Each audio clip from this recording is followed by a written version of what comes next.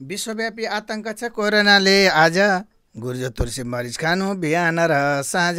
भिडा भाँडा विदेश यात्रा छोडिदिनु जान। माछा मासु चिसो पेय चट्टै छोड्नु खान। तातो पानी नित्य पिउनु झोला कुरा खानु। भिडाभाडमा जानु परे मास्क लगाई जानु। ज्वरो आयो रुगा खोकी दुख्यो भने माथा बारम्बार नलैजानु आँखा नाकमा हात।